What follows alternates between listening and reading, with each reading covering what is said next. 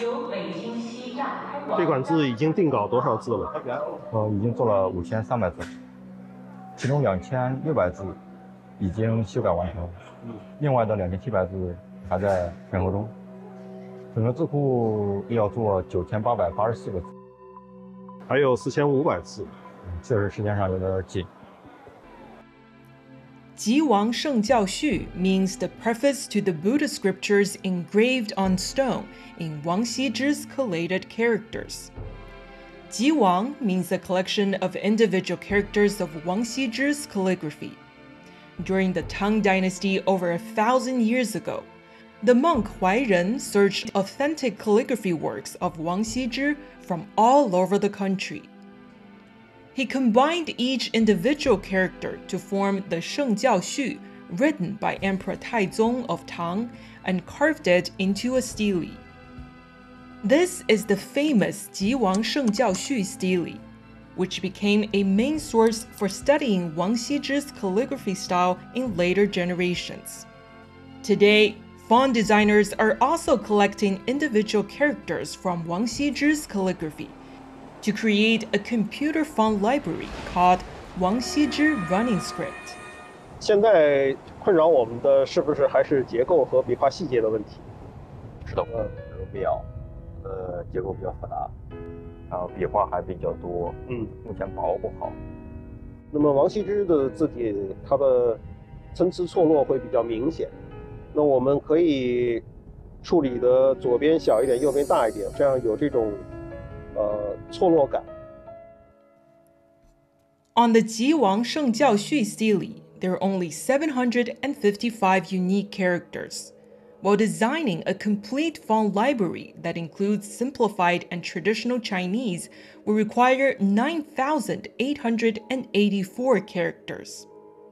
For characters that do not exist, designers have to combine and create them.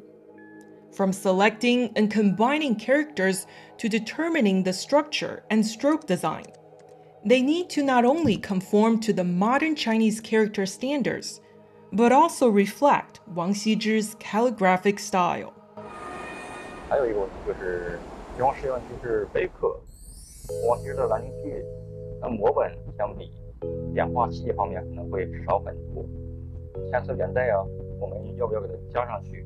可以看到摹本几乎每一笔都有笔锋啊，这种出锋的感觉，这个跟《吉王圣教序》其实差别还是很大的。《吉王圣教序》是刀刻的，刻的时候不可能把这些所有的细节都刻出来。我们在做字库的时候，整体的风貌向《吉王圣教序》看齐，似连非连的地方，其实我们可以参考一下这个摹本。The handling of every stroke's detail is crucial for the font style. While digitizing the rubbing of the Jiwang Sheng Jiao Xu, directly using software to trace the stroke lines will result in significant loss. Repairing each character manually may result in distortion. To achieve the best results, designers have to fill in the strokes along the inner contours and then adjust the structure and details based on Wang Xizhi's calligraphic style. This process needs to be repeated tens of thousands of times.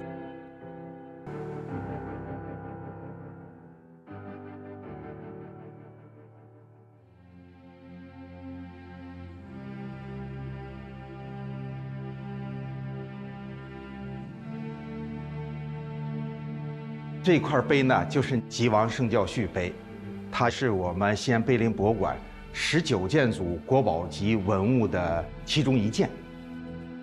这块碑呢，是怀仁和尚集王羲之的字所刻成的，共集了一千九百零三个字，相当于王羲之的书法字典。在这块碑里的字，如果怀仁和尚实在集不到了，那他怎么解决呢？有一些字就是使用了相近的字形来代替，这也不排除他亲自去摹写。 The journey of collecting Wang Xizhi's calligraphy started in the Tang Dynasty and has continued through the Song, Yuan, Ming, and Qing dynasties. while Huairen's Jiwang Shengjiao Xu has allowed Wang Xizhi's calligraphy to be passed down for 1500 years, computer fonts can now bring the Wang script to every computer and every mobile phone in the world. It allows anyone who's interested to become acquainted with it and use it. Digitalization may help preserve the Chinese calligraphy forever.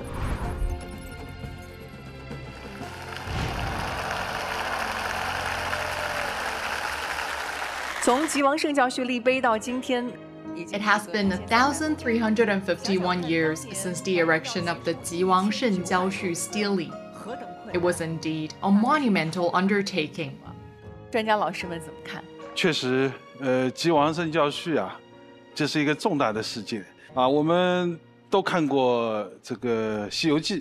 The Jiwangsheng Jiaoshu was indeed a significant event. We're all familiar with Journey to the West, Monk Xuanzang went to India to obtain Buddhist scriptures. After translating the scriptures, he asked Emperor Taizong to write a preface, and then asked Crown Prince Li Zhi to write an introduction. Xuanzang himself also wrote a thank you letter. Because Emperor Taizong was particularly fond of Wang Xizhi's calligraphy, the monk Huairen from Hongfu Temple in Chang'an was commissioned to collect Wang Xizhi's calligraphy for the Shengjiao Xu. This was an immense project. Emperor Taizong provided strong support. It is recorded that he used treasure funds to purchase Wang Xizhi's calligraphic works across the country and got as many as 2,290 sheets. If there were missing characters, he would spend a large sum of money to acquire them. Therefore, this stele is also known as a thousand gold stele. 啊，所以呢，这个碑啊，又有一个另外的名字叫千金碑。那从专业的角度，Let's go back to the art of calligraphy. From a professional perspective, how do you view the 集王圣教序 stele, Professor Chen? First of all, it has its cultural value. It later became one of the most classic works in the history of calligraphy, especially in the running script. Speaking of the Ji Wang Shengjiao Shu itself, it is a copied work. Wang Xizhi's original works were largely lost, the compilation of the Ji Jiwang Shengjiao Shu precisely preserved a lot of information about Wang Xizhi's calligraphy. In the eyes of ancient people, it was considered very authentic, with the effect of every stroke and dot clearly visible. According to current statistics, there are about 60 or more characters from the Lantingji Shu used in it. It has greatly contributed to the preservation of Wang Xizhi's calligraphy. Secondly, when Huairen made this stele, he consciously conveyed Wang Xizhi's creative characteristics of each character, and the arrangement is lively. When compiling characters, the most important thing is to avoid having each character appear too monotonous or fragmented. So he tried to use many variations of characters. For example, characters like Yo and Wu have many different ways of writing. The sizes vary naturally with different degrees of thickness, length, and variation. We have just discussed the many merits of the Ji Wangsheng Jiaoshu. When Huairen compiled the characters, he considered many variations and aimed for coordination and unity.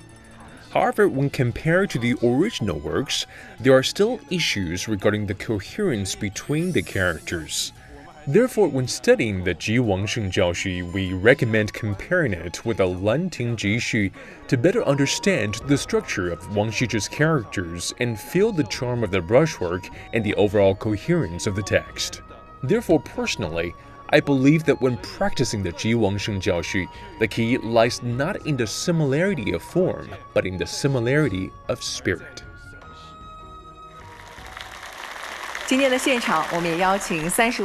Today, we've invited 30 calligraphy enthusiasts from all over the country to write down their desired poems with the calligraphy style of the sage of calligraphy, Wang Xizhi.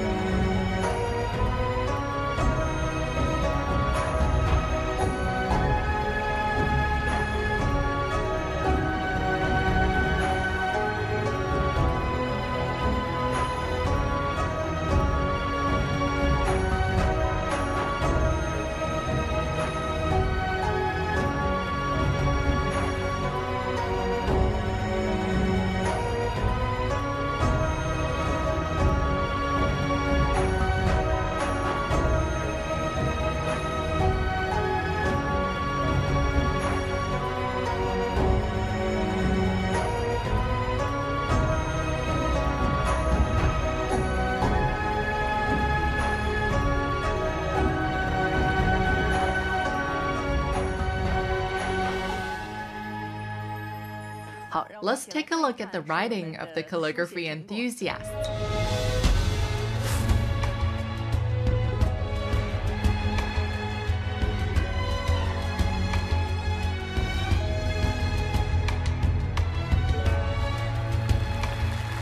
大家 Everyone has written down their desired poems, and let's invite some of them to share with us. 大家好，我叫耿文霞，来自上海， 是一名法律工作者。我选的这个内容叫“遇事无难易而勇于敢为”。我觉得这句话对于我来说是一种勉励，不论是学术的道路上，还是人生的道路上，都会遇到各种困难。但我们只要坚定信心，努力的去奋斗，就会有所收获。大家好，我叫刘媛儿，是来自于内蒙古乌海的一名教师。我写的是“吾日三省吾身”。每天我在坚持写字的时候，我都会不断反省我有没有进步。而我身边的榜样就是矿工书法家们，他们在工作之余还在坚持练习书法。为了更好地提高我的书法创作的能力，我会经常去桌子山看岩画。它质朴的线条、和谐的表达，向人们展示着积极向上的生活态度，也更激励着我不断进取。希望大家都能做到吾日三省吾身。谢谢，谢谢，谢谢大家的。Thank you for the presentations. The displays by our calligraphy enthusiasts have shown us the beauty of calligraphy and spiritual pursuits. We also hope that everyone can not only write, but also embody the essence of calligraphy and become a better version of ourselves. 自己。